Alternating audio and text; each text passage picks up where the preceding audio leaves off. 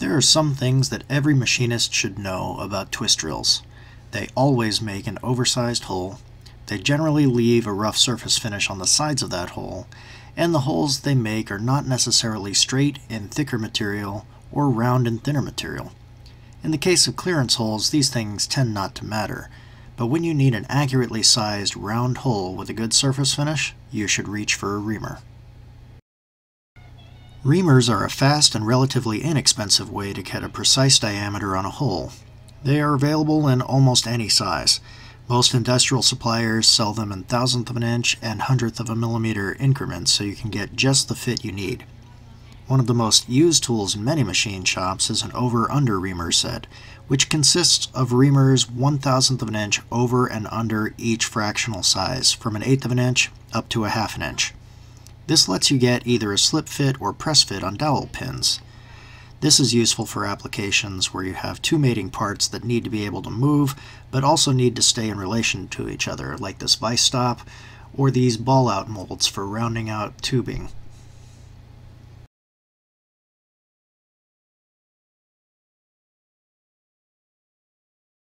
The most common type of reamer is called a chucking reamer. It has a very long shank in relation to the flute length. This makes sure it's flexible enough to follow the pilot hole. The flutes are most often straight, but they can also be spiral, either right-handed to pull the chips out, or left-handed to push the chips forward. Pay attention to the direction of the cut though, because a left-handed spiral can still have a right-handed cut. Like most tooling, reamers start to get quite expensive in larger sizes, so large reamers are often sold as shell reamers. One shank is used to hold a range of interchangeable reamer shells. This not only makes the tooling more affordable, but it takes up far less space than a drawer full of very large reamers. Just like twist drills, reamers come in a wide array of styles, materials, and shank types. Many of these are the same options you would have with drills. They're available in high-speed steel and carbide, as well as carbide tipped so you get the hardness of carbide on the leading edge and the flexibility of a high-speed steel shank. They also have both straight and taper shanks like drills, but additionally there's a variety with a square shank like a tap. These are hand reamers and are not meant to be run under power on a machine. Instead, these are meant to be turned with a tap wrench. Hand reamers have longer flute lengths than normal, and the flutes are slightly tapered at the beginning to aid in getting the reamer straight into a hole. There are also some special purpose reamers that deserve to be mentioned. Morse taper reamers are available to either cut or clean up Morse taper sockets. Taper pin reamers are for cutting a seat for tapered dowel pins. These pins are used in all kinds of machinery to accurately locate removable parts. There are also adjustable reamers, which use opposing nuts to slide the reamer blades in tapered channels to make the reamer larger or smaller. These are always hand reamers, and the surface finish they create leaves a lot to be desired. These are mostly used to open a hole slightly rather than trying to get a precise fit. There are some rules of thumb that should be followed when reaming. The most important one is that reamers should never be run backwards, either under power or by hand. Doing so dulls the reamer. The next thing you need to know is that reamers should be run at half the speed and double the feed of a similarly sized drill.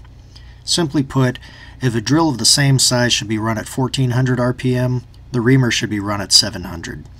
Likewise, your feed rate would be doubled, although on manual machines that comes down to a sense of feel. Next, use cutting oil when using a reamer. This not only helps achieve a better surface finish, but it affects the size of the finished hole.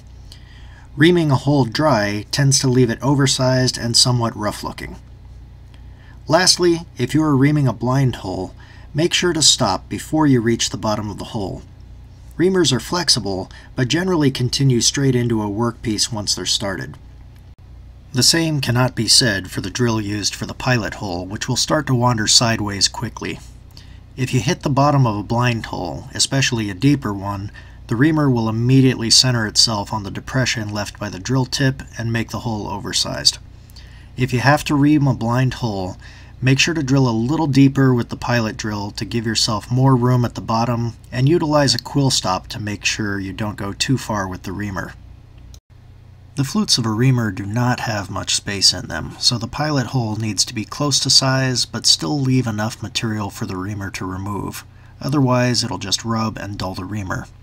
How much stock to leave depends on the size of the reamer, so please refer to this stock allowance chart. I've also put this down in the description, and it's part of my class handout that's linked down there as well. Thanks for watching, and I'll see you next time.